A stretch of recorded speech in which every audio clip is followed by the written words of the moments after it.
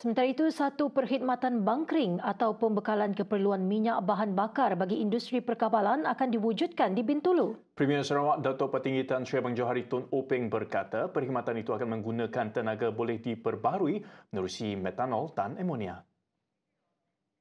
Industri perkapalan sudah bertukar dari sudut tenaga daripada tenaga fossil fuel kepada tenaga yang boleh diperbaharui iaitu metanol dan amonia disebabkan kita mengeluarkan metanol. Dan insyaAllah kita akan juga mengeluarkan green ammonia. Maknanya bunkering services uh, akan diwujudkan di kawasan ini. Maknanya kita beri khidmat kepada uh, industri kapal yang melalui daripada barat western uh, daripada Europe Eropah menusi state of Malacca kita kepada Far East Korea, Jepun, China uh, di sana. Dan sebab itu kalau kita lihat the route international shipping Bintulu adalah lokasi yang uh, strategik dengan dengan bahan-bahan yang diperlukan uh, dalam industri shipping. Kalau nya strategik, ada bahan pun mungkin dia tidak singgah.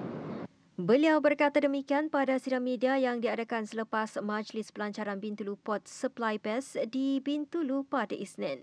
Mengulas lanjut, Abang Johari berkata Sarawak juga akan meminta nasihat daripada pakar yang berpengalaman berhubung perkara tersebut. Sekian kita hendaklah review kita pun development di sini, maka kita telah meminta nasihat daripada Sojana uh, Jurong. Uh, yang mempunyai uh, experience pengalaman dalam mewujudkan uh, pelabuhan-pelabuhan yang besar di Singapura dan mereka akan membuat perancangan untuk kita membangun second phase of Bintulu bersama laju port under Bintulu Holding.